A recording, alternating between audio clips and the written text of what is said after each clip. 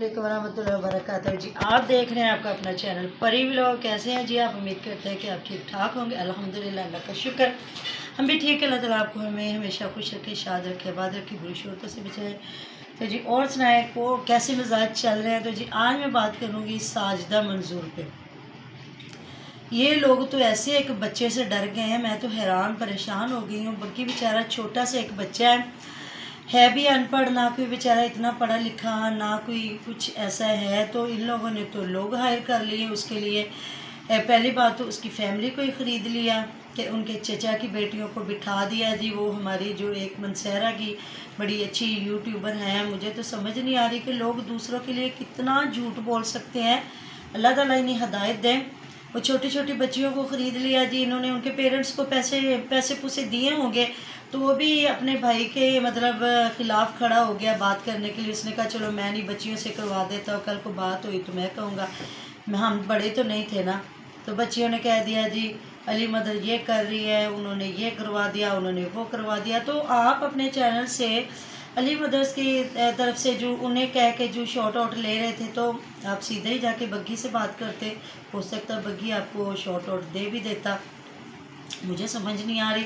तो अब तारक साहब जो इतने बड़े बड़े इंटरव्यू दे रहे हैं, जब आप सच्चे हो तो फिर आपको तो परेशान होने की ज़रूरत ही नहीं, और आप कह रहे हो, जी, चैनल उनके नाम था, ये हो गया, वो हो गया।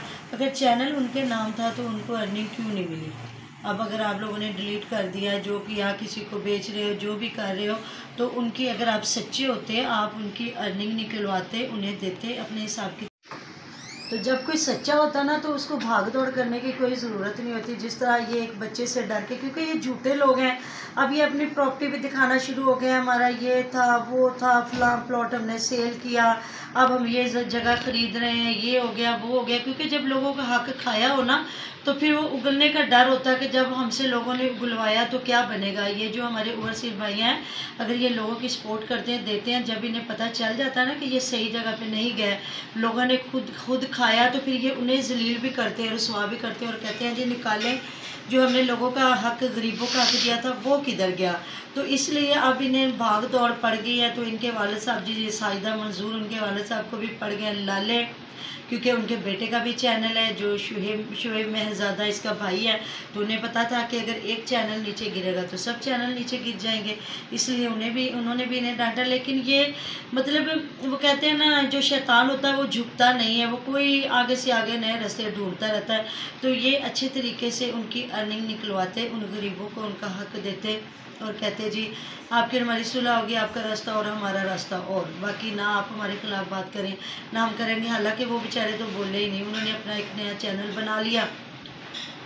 अपना काम करना शुरू कर दिया। अब इन्होंने कुछ औरतें जो यूट्यूबर्स हैं, उनके पीछे चढ़ा दी हैं। बग्गी लोगों के पीछे जो इनकी स्पोर्ट में वीडियो बना रहे हैं, तीन चार चैनल वाले जो हैं, उनके पीछे इन्होंने मतलब के सॉरी जी। तो इन्होंने उनके पीछे चढ़ा दी जी। शायद ये डर डर आ जाएँगे, लेकिन रिएक्शन वाले जो हक सच की बात करते हैं, वो कभी भी नहीं डरते होते। बात वही आ जाती है, जब लोगों को लोगों से खाने की आदत पड़ जाते हैं पड़ जाती है ना, फिर वो ऐसे करते हैं। अभी मैं आपको इनकी बहन जो है, वो क्या उसका नाम है? जुहेब की वालदा। उसकी मैं कल की वीडियो की बात बताती हूँ। अगर ये तारक इतना अमीर था, या ये जो साइदा मंजूर है, काफ़ी ये बेहतर है, बहुत अमीर नसीब तो गरीब भी नहीं है। तो इनकी बहन ने जो हरकत की, मुझे इतनी कसम से शर्मिंदगी हो रही थी ना कि कल कहीं शादी पे जाना था जी किसी वलीमे पे तो वो एक पुराना सा ब्यूटी बॉक्स लेके आ गई।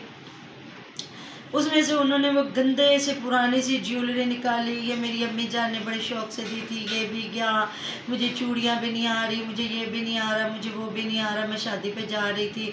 अब क्या करूँ? हाय रे मेरी किस्मत कि कुछ भी नहीं है जो मैं पहन के जाऊँ। अल्लाह अकबर, अल्लाह ताला माफ़ करे। इतना गरीब बनना, इतने मस्किन बन बन के दिखाना क्या?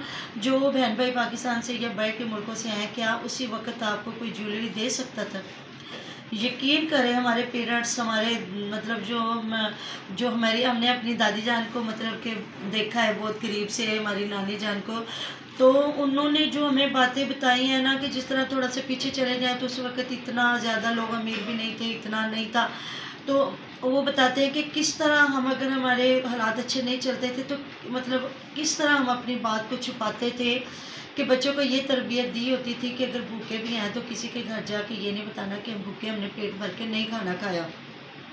या हंडिया बनी या नहीं बनी हमने अपने बर्तन धो के साफ़ सुथरे करके इतने अच्छे तरीके से अपने जो आ, मतलब वो किचन की रसोई की जगह होती थी वहाँ मैनेज करके हर चीज़ रखना कि आने वाले बंदे को पता चलना कि पता नहीं कितना खाना बना हुआ है। तो यार पहले तो लोग अपने आप को छुपाते थे कि हमारा अंदर का जो है हाल वो बाहर ना पता चले लेकिन यूट्यूब ने तो इन लोगों को भिकारी बना के रख दिया। अल्लाह अकबर यकीन करें मुझे इतना बाज़ ना अफसोस भी होता है और फिर इन लोगों को देखें इनके हाल एक हमारे यूट्यूबर है मैं उनका नाम नहीं बताऊँगी।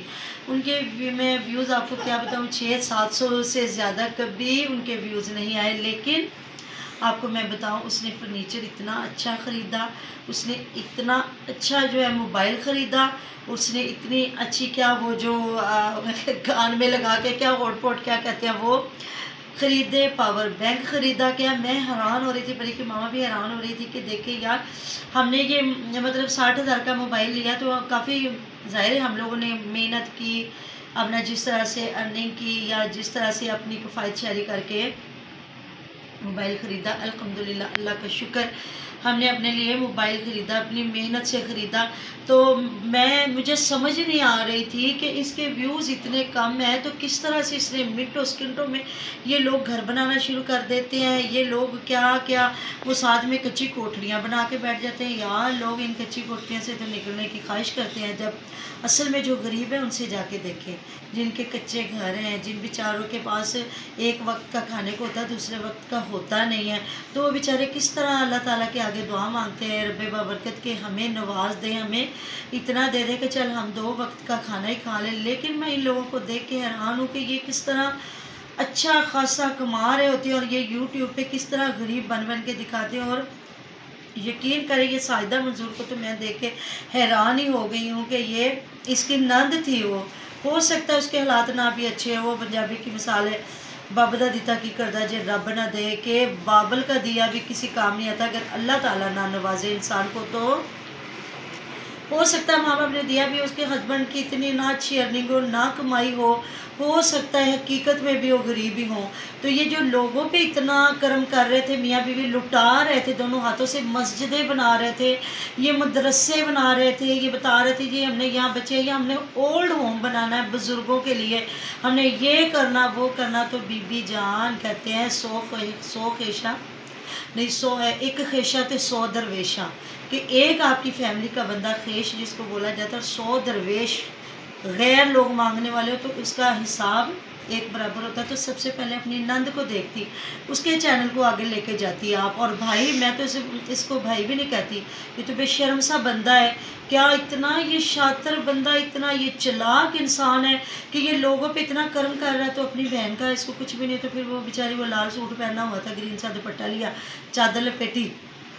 फिर वो ज्वेलरी के बगैर ही चली गई कि दूर की शादी थी, उन्होंने हमें दो तीन दिन नहीं बुलाया तो आज वलीमे पे बुलाया तो मतलब अच्छे खासे, माशाल्लाह, उसके बड़े बड़े बच्चे हैं। तो अगर ना भी ज्वेलरी पहनती, कुछ भी नहीं है, लोगों के सामने नंगा होने से बेहतर है। ना भी पहनती, कोई बात नहीं है।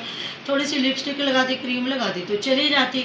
आजकल हर बंदे को पता है कि कितनी गुर्बत चल रही है। पाकिस्तान में एक दिन बेचारा रोटी खाता है, दूसरे दिन की फ़िक्र फ़िक्र पड़ी, लाले पड़े हैं, या इतना तो बंदे के ने कोई, वो दो चार घंटों की या बूंदों की जोड़ियाँ लेके रखी होती है ना जो बंदे के काम आ जाती लेकिन इन यूट्यूबरों का कोई हाल नहीं, इन्हें कोई नहीं सुधार सकता।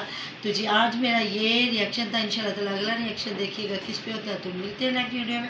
हमने बहुत सारा ख्याल रखेगा, दुआ में याद रखेगा, आप हमारी दुआ में हर वक्त हमारे साथ होते हैं। जी, अल्लाह हाफिज़।